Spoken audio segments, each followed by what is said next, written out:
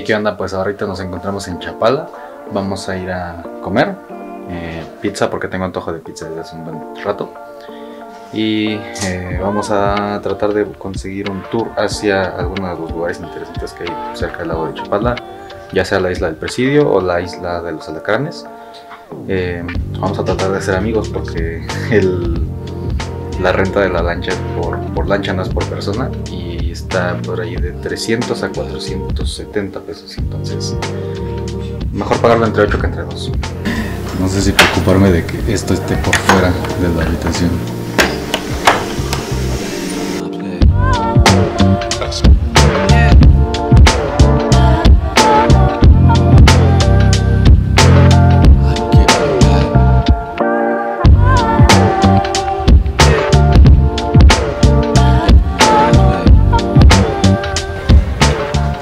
14% de este lago está ubicado en el estado de Michoacán y el otro 86% está ubicado aquí en el estado de Jalisco. Y pues también abastece el 60% del agua que va hacia Guadalajara, entonces es uno de los más importantes este, cuerpos de agua que alimentan a la ciudad de Guadalajara. Y si no me chinga el copyright, aquí tenemos a la Virgen de San Juan de los Lagos. A la orilla del lago de Chapala. Dentro de otros datos también interesantes que el lago de Chapala fue conocido como el mar chapálico. Y bueno, eh, la verdad Chapala no fue muy comunicado con otras partes de México respecto al turismo, eh, porque se hacían muchísimo tiempo desde, por ejemplo, parte del centro de la República hacia acá. No fue hasta el momento en el que se construyó el ferrocarril por parte de pues, Porfirio Díaz que se pudo tener un turismo mucho más accesible hacia Chapala.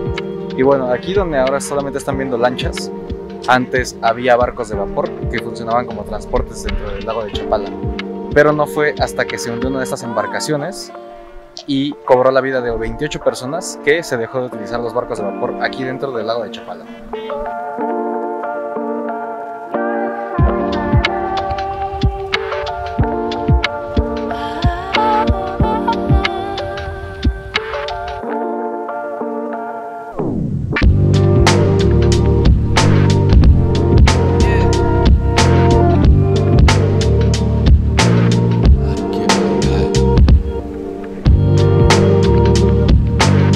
Otra cosa importante a mencionar es que este era el lugar preferido de Porfirio Díaz para vacacionar, pero eso no es lo importante, lo importante es que lo que hizo fue introducir el lirio dentro del lago de Chapala, lo cual hizo que se formara una especie de plaga. Ya saben eso de que las especies invasoras eh, destruyen el ecosistema y depredan a las otras especies que son endémicas. Lo mismo que pasó en Xochimilco con la mojarra tilapia y el ajolote, pero aquí con plantas. Y bueno, Chapala viene del náhuatl y significa lugar de ollas pequeñas, lugar de chapulines en el agua o lugar muy mojado. Y pues tiene sentido, ¿no? Eso es lo que les mencionaba, esas ya son las especies invasoras que están dentro del lago de Chapala, que se convirtieron en una plaga y pues me imagino que ahorita ya no hay tantas, ya han sabido pues controlarlas para poder tener pues sí, el lago en mejores condiciones. También me falta mencionar que Chapala no es el único pueblo que tiene acceso al lago de Chapala y de hecho Chapala no es un pueblo mágico. El pueblo mágico que está dentro de esta riviera, que es la riviera... Eh, nada, nada quiero cajetear. Ajijique es el único pueblo mágico que está dentro de- del lago de Chapala. No, nos acabamos de encontrar un skatepark al lado del lago. Va a estar muy perro patinar aquí. Se debe, estar- se debe ver muy chido. Y como en un buen de lugares, también tenemos aquí a los voladores de Papantla.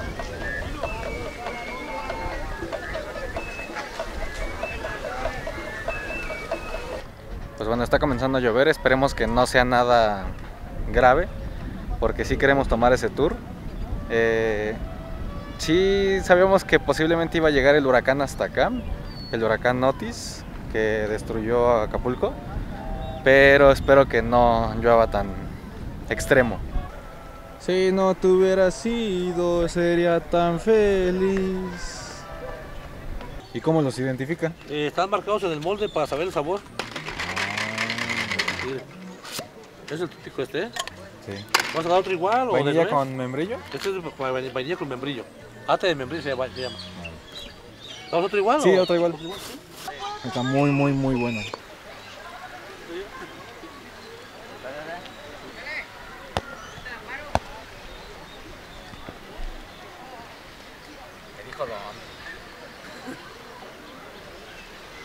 Pues bueno, em, estábamos pensando en tomar un tour, pero em, la verdad hemos visto referencias de que no es tan turístico o algo así como que haya mucho que ver dentro de las opciones más este, económicas, digamos.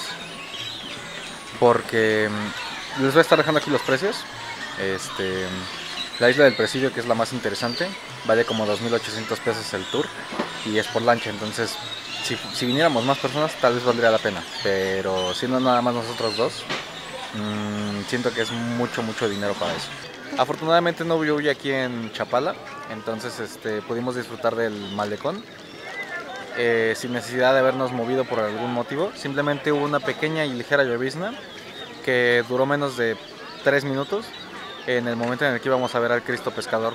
Entonces, todo va bien hasta el momento. Este, mm, prácticamente no hay muchas más cosas que ver, más que el museo de la antigua estación del tren. Pero ese museo lo cierran a las 5 de la tarde. Entonces hoy ya no pudimos verlo.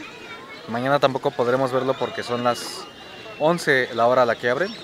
Y tenemos que salir de aquí temprano para poder llegar a Guadalajara y tomar nuestro vuelo. No, amigos, huyan de ahí.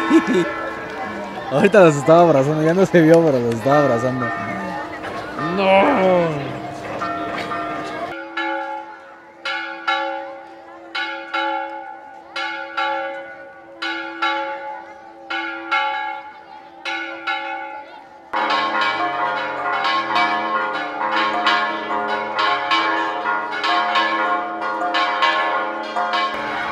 También de noche es bonito porque están iluminados los edificios. Se ve bastante bien. Ah, bien buena onda nuestra anfitriona que dijo que se le descompuso el microondas y nos trajo una parrilla eléctrica con un sartén para calentar las cosas. Lo vio.